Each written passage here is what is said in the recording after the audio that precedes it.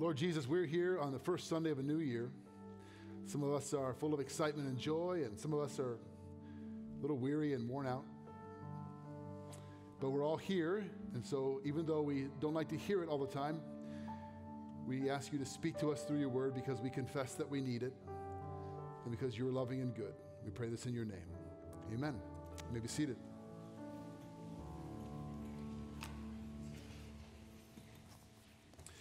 Well, as you've heard many, several times already, it's the first weekend of a new year. And so all the cliches, right, we should talk about. Let's get those out of the way.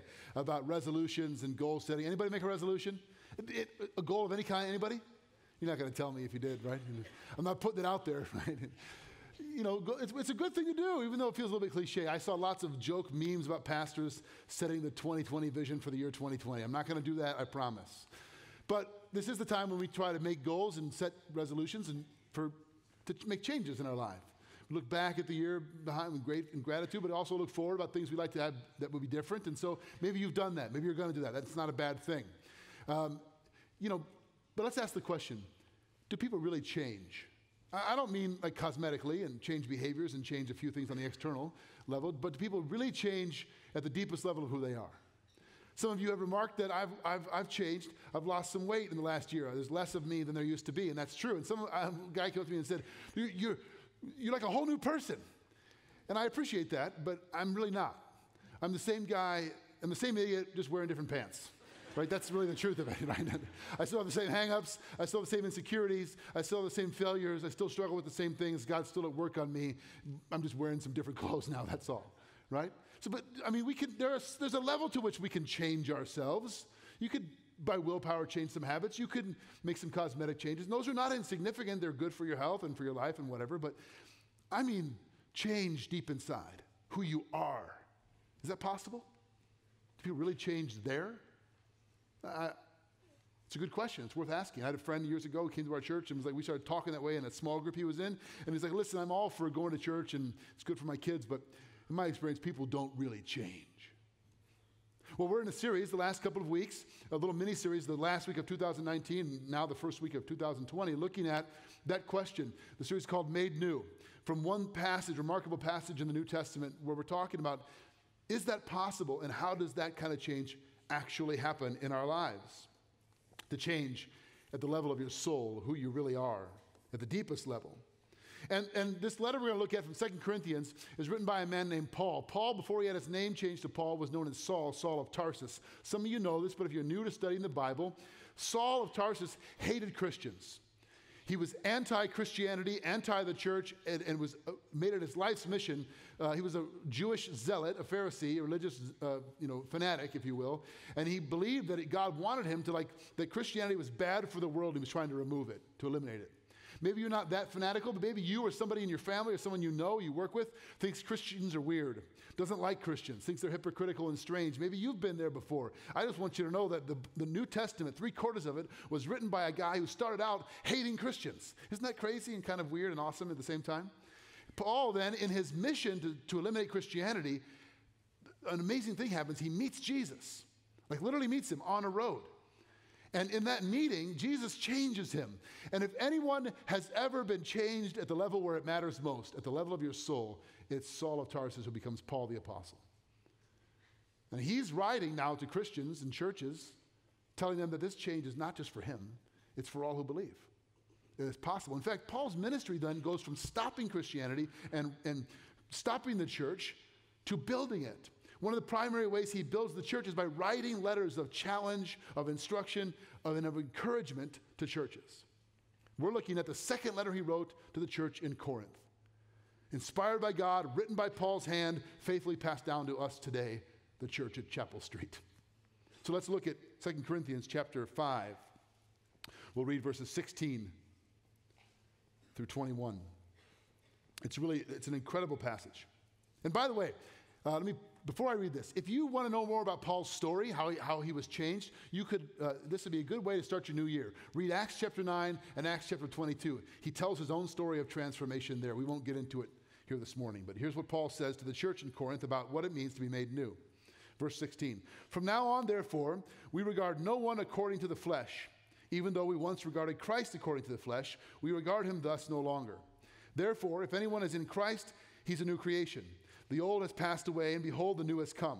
All this is from God, who through Christ reconciled us to himself and gave us the ministry of reconciliation. That is, in Christ, God was reconciling the world to himself, not counting their trespasses against them, and entrusting to us the message of reconciliation. Therefore, we are ambassadors for Christ, God making his appeal through us. We implore you on behalf of Christ be reconciled to God. For our sake, he made him to be sin, who knew no sin, so that in him we might become the righteousness of God. This is an astounding passage. I will freely admit there's a lot of churchy words in here righteousness and reconciliation, all these things. And we're going to talk about what they mean. Before we get into that, though, I just want to set the stage about what Paul's talking about. Last week, Pastor Brian preached about being made new, that verse that says, Therefore, if anyone is in Christ, they're, they're a new creation.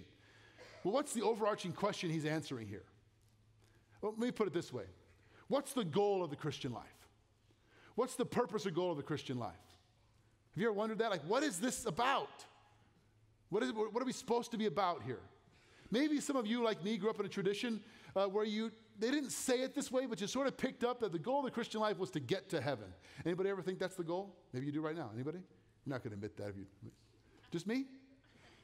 Get Jesus to get to heaven. Like he's your get into heaven ticket. You got to get Jesus into your heart so you, when you, you know, stand before God, you can go, oh, look, like got milk, got Jesus, I can get into heaven now. Like the, the whole goal is to get to heaven, wherever that is, whatever that is, that's the goal. If that is the goal, then here's another question What are we still doing here? I mean, on earth, really. And if the goal is to get to heaven, then once you trust in Jesus, why doesn't God just go, poof, you're with me, and then I'm looking for another one, right? Like, why are we still here? Are we just hanging on?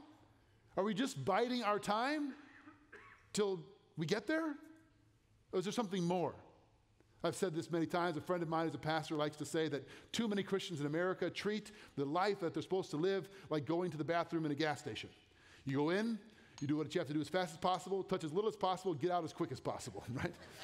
That's not the New Testament teaching about the life we're called to live. We're not just treading water or hanging on till heaven. It's about so, so much more than that. The emphasis in the Bible is not about getting out of here. It's about what to do once God gets a hold of you while you're here.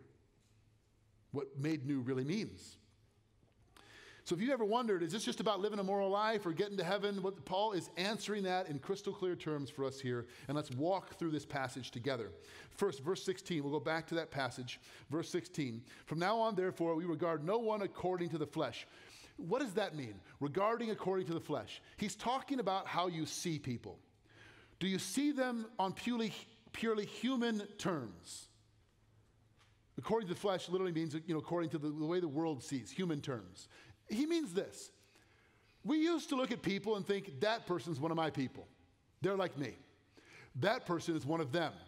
To see people in categories, you know, conservative or liberal, you know, uh, the good people, the bad people, residents, citizens, and, you know, aliens or illegals or, you know, undocumented gay or straight, Republican or Democrat, to categorize people and to see them that way.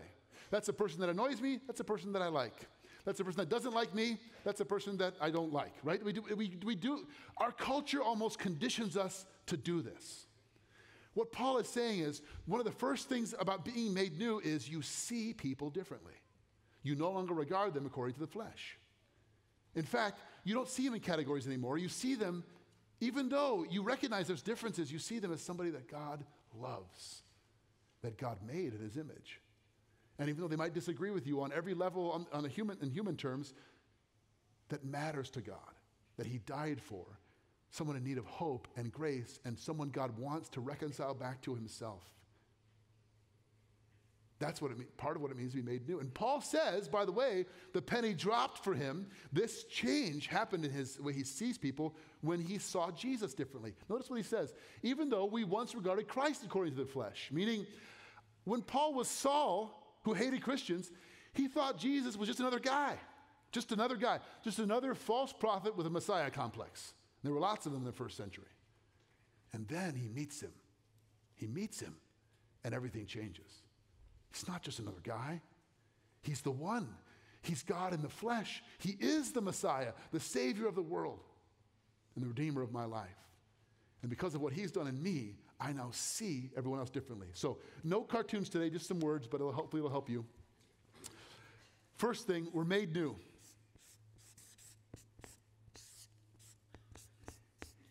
Paul says we're made new, and that newness impacts how we see. How we see ourselves and how we see other people. And then, moving on, that's what Paul says in verse 17, the famous passage that we always quote and you heard last week. Therefore, if anyone is in Christ, he is a new creation. The old has passed away, behold, the new has come. Meaning, I, you see the potential of what somebody could be if Jesus was to get a hold of their life, to make them new. And in verse 18, he goes on All this is from God, meaning you don't make yourself new. It's not a restoration project that you're in charge of. God does it, He makes you new. Who, through Christ, reconciled us to Himself and gave us the ministry of reconciliation. So we're not only made new, we are reconciled back to God. To be reconciled means to be brought back. I always have a fear that I'm going to spell something wrong because I'm not, you know, you're too close to it. But you get the idea. We're reconciled back to God. The most common reason for tragically divorce in America is irreconcilable differences. This couldn't make it work. We got differences. Spiritually speaking, the Bible says between you and God, there is a gulf of separation because of your sin. You, there are irreconcilable differences. On your end, you cannot reconcile yourself back to God. You cannot do enough and be good enough to, to, to be brought back on your own strength. But God is the great reconciler. He can reconcile you back to Himself. That's what He's done in Christ. We're going to get to that in a minute. To be made new by the power of Jesus Christ is to be brought back into relationship with the Father. Let me put it like this The goal of the Christian life is not to get into heaven, it's not escapism. It is to be restored to a relationship with the Father through Christ and to be given a message and a ministry of reconciliation. This is what Paul says in verses 18 and 19. I'll read it for you again. All this is from God, who through Christ reconciled us to himself and gave us the ministry of reconciliation. That is, in Christ, God was reconciling the world to himself, not counting their trespasses against them, and entrusting to us the message of reconciliation. So, what are we still doing here? If you've been made new and reconciled back to God, why are you still here? Paul says it. You've been given two things. You've been given a ministry,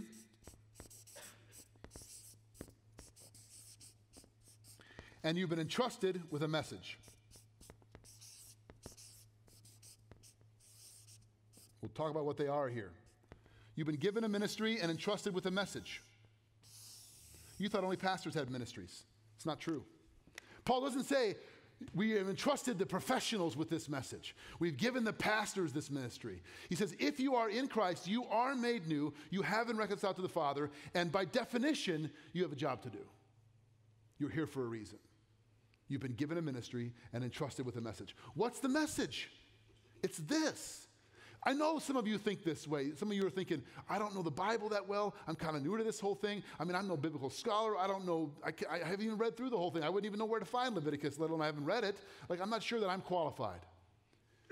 Okay, so you have some growing to do. So you have God wants to grow you up. That's good. So do I. So do you. Can we all agree? We all have some growing to do spiritually and intellectually when it comes to understanding who God is. Is that true? Anybody fully formed and got it all figured out yet? Okay, right. No hands, good for you. It means you're not listening or being honest. But you've all been made, at least if you're in Christ, you've been made new. Your job isn't, isn't to be a Bible scholar. Your job is to say, look, I, I don't have it all figured out. I don't know all the answers, but let me tell you what He has done in me. Let me tell you what has happened in my life because of Jesus. That's the message. He's entrusted to you a message. What's the message? What's happened in your life? What's He done? What is He doing? That's your message. That's what He's entrusted to you. There is a separation that divides us, and we've been reconciled back to God through Christ. This is the message. Now, I want to spend the rest of our time on verses 20 and 21 because they're, they're just remarkable verses. I'll read them for you and we'll unpack them. Therefore, they, they kind of, Paul's summarizing here what's come before, all the passage, the passage we just read. Therefore, we are ambassadors for Christ, God making his appeal through us. We implore you on behalf of Christ, be reconciled to God. For our sake, he made him to be sin who knew no sin, so that in him we might become the righteousness of God. Did you hear it? We are God's plan to get the message of reconciliation to the world.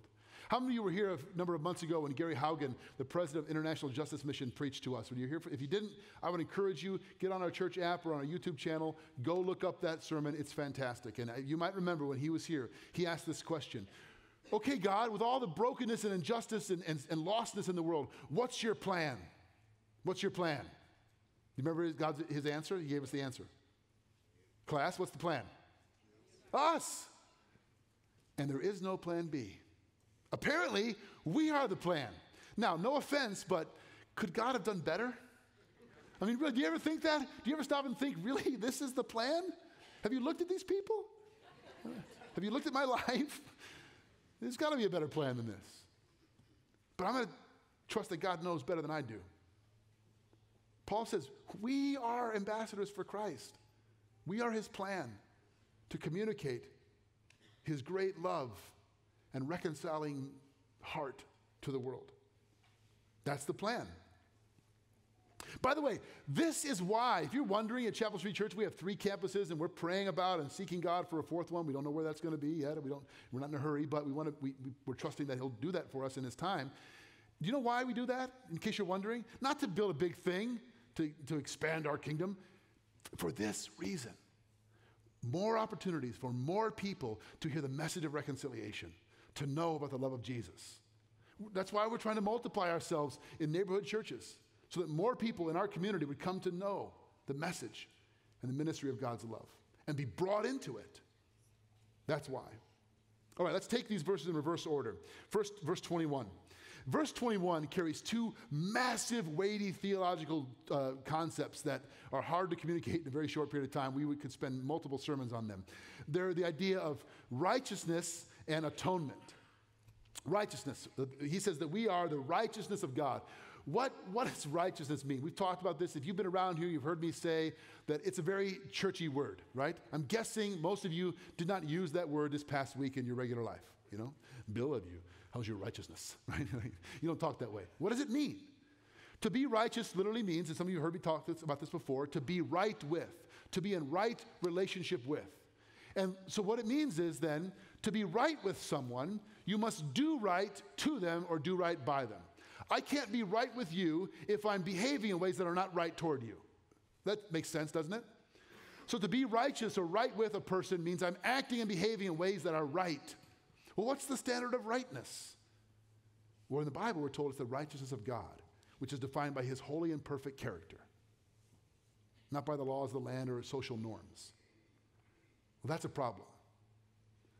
None of us can do right enough to measure up to God's holy, perfect character and nature. We cannot, therefore, be righteous by our own moral effort.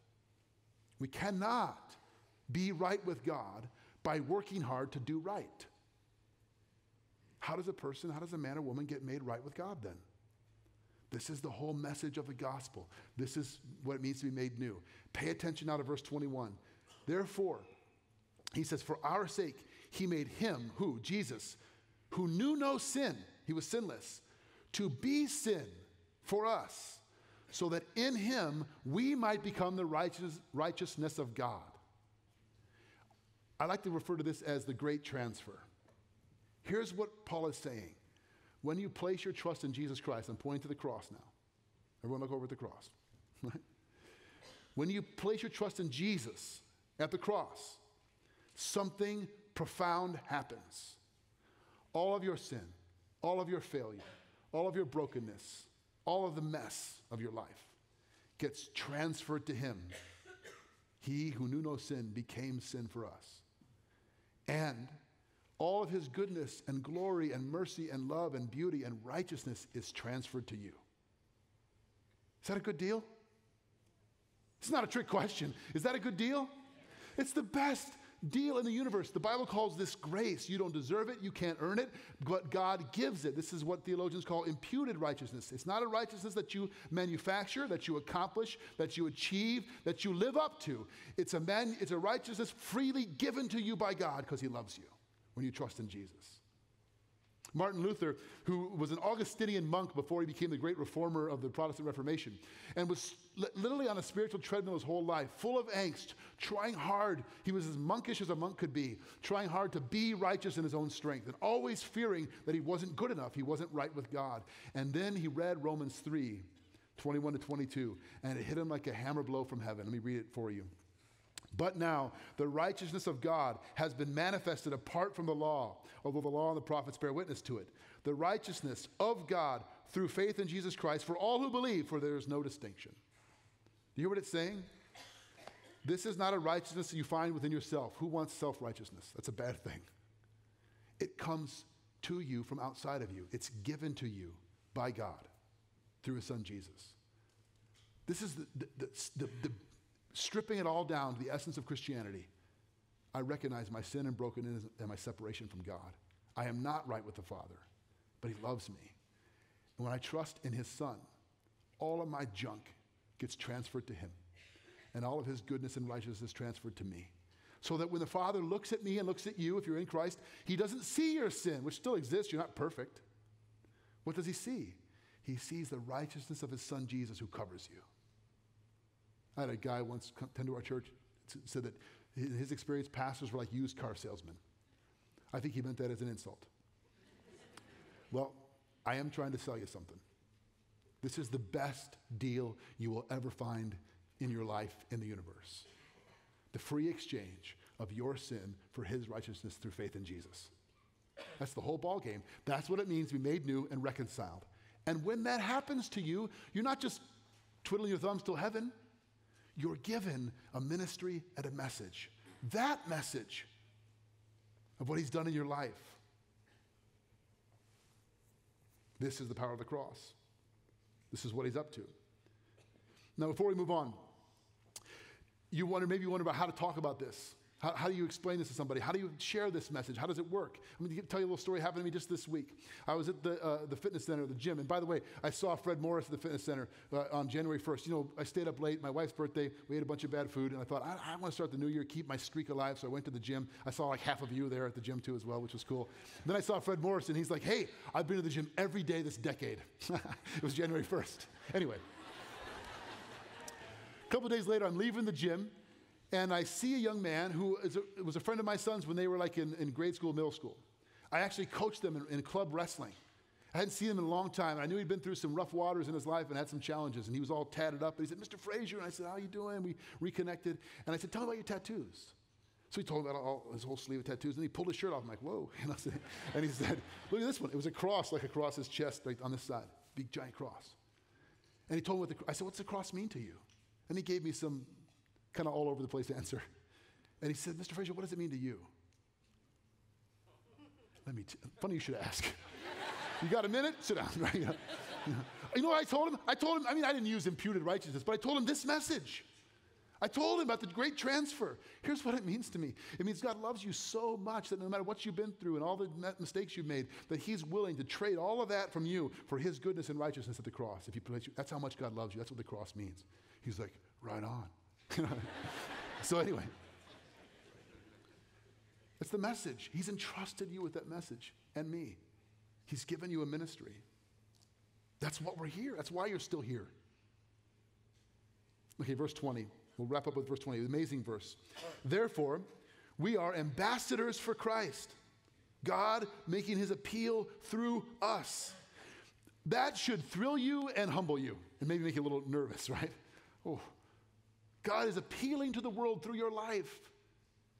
Now, when you hear the word ambassador, you think about different things. We, there's a political side, which we'll talk about, but sometimes we, we also think about, um, in the marketing world, brand ambassadors, right? The celebrity endorsements, people that you associate with a brand, because they're, they're always, so for example, Nike, who's a brand, the most famous brand ambassador for Nike. Michael Jordan, Tiger Woods, LeBron James, depending on your, your era, right? Uh, what about um, state, uh, nationwide insurance? Come on, I like this one. Peyton Manning? Like Peytonville? Do You like I love that commercial. Well, maybe it's just me. It's working for me anyway. Or how about how about Weight Watchers? Oprah, right? Oprah, up and down, Weight Watchers, the whole thing. We could go on. People that we the point is you associate that person with the brand. Well, in a way, Paul is saying you should be a walk-in talking commercial for the grace of Jesus Christ. You should be a brand ambassador. What's your brand? People should see your life and associate it with something of the goodness and grace and mercy and love of God. I say that, and I recognize, even as the words come out of my mouth, my own failure. You probably hear it and think the same thing. That's not to make us feel guilty, but to tell you what you're here for. God is making his appeal through you. He wants to. Now, this is God's marketing plan. and it doesn't mean, here's what it doesn't mean. It doesn't mean that you're walking up to people saying, listen, listen, I, I have my life together and I have the answers, I have things figured out, please follow me. What it means is, look, I, I was completely lost, broken. In many ways, I still have issues. But Jesus found me. He made me new. He reconciled me and restored me to back to a relationship with God. He's changed me. And He wants to find you and do the same for you. Can I tell you about Him? The other aspect of what it means to be an ambassador is, you know, the idea of a foreign ambassador. We, we hear a lot about this in the news and uh, on, in, on TV these days, social media, and it's not always good what goes on with our foreign ambassadors.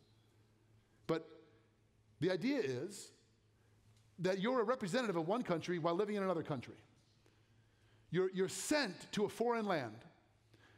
To, and you need to know that language of that land, you need to know the culture of that land so that you can speak clearly into it and understand it. But you must never forget that you're not a resident there. That country is not your home. You belong to, a, you have allegiance to another king, another nation.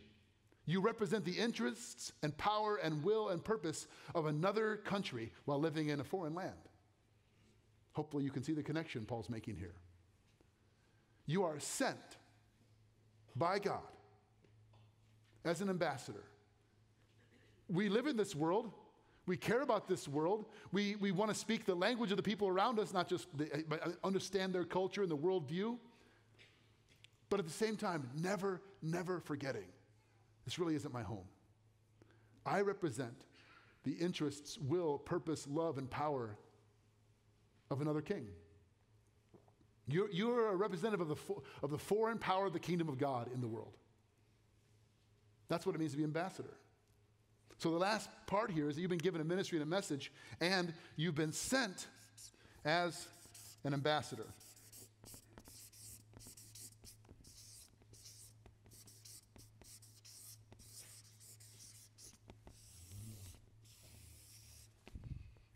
God sends you into the world as his representative. He's making an appeal through your life.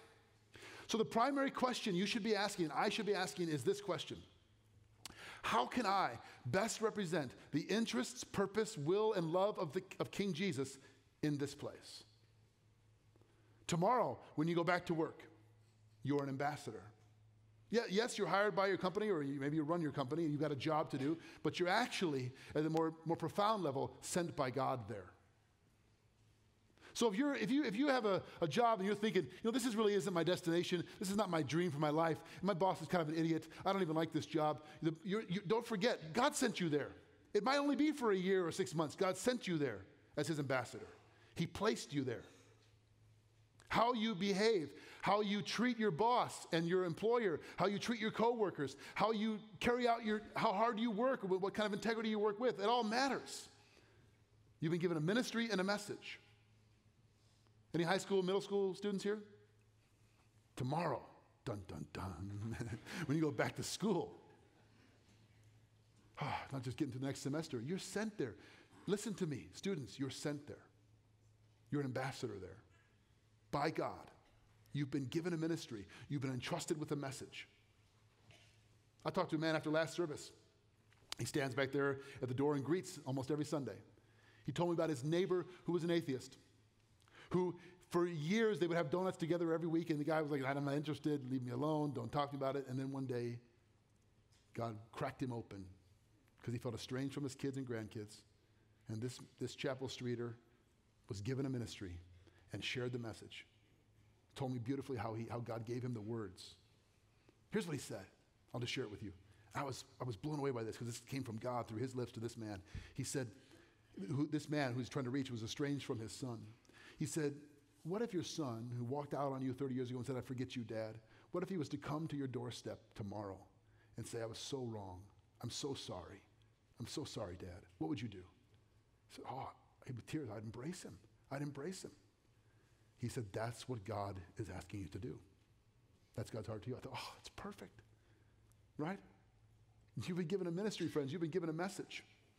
God is reconciling the world to himself. How is he doing that? Through Christ. But specifically, how in the world? Right? I know. he sent you, He sent us. What, what, what a perfect message for a new year. What are we doing here? This year, this decade, this life. What are we doing here? You're in Christ, you've been made new. You've been restored to relationship with the Father through the, the love and, and sacrificial death of the Son. And you're not just treading water, friends. He's given you something to do, something to share, something to make known. He's sent you as his ambassadors. He's sending us. And we're going to come to his table now as we finish this first Sunday of a new year. These are the symbols of that being made new and reconciled to God. The body and the blood of Jesus, the bread and the cup, are the, are the profound symbols that the church has observed down through the centuries of what it means to be made new and reconciled to the Father. And I want to be clear about something. If you're here for the first time, checking out a new church in a new year, it does not matter to us if you're a member if, or if it's your first Sunday. All that matters is that you have been, placed your trust in Jesus. If that's true of you, you're welcome at his table because it's not our table, it's his. So, in a moment, the ushers will pass the plate. You'll get two cups stacked together. Hold them in your hands. And once we've all been served, I'll come back up and lead us through the remembrance and the celebration of what it means to be made new in Jesus. Let's pray. Father God, we thank you for the way that you pour out your grace in our lives, which we do not deserve, which we cannot earn. We thank and praise you that you took our sin onto you. You who were sinless and perfect became sin for us, and you transferred your perfection and righteousness into our hearts, that we might be restored to a relationship with the Father in love. Now we come to your table, Lord, and we ask you to remind us through these simple, humble elements of the depth of your love through the sacrifice of your Son. We pray this in his name, Jesus' name. Amen.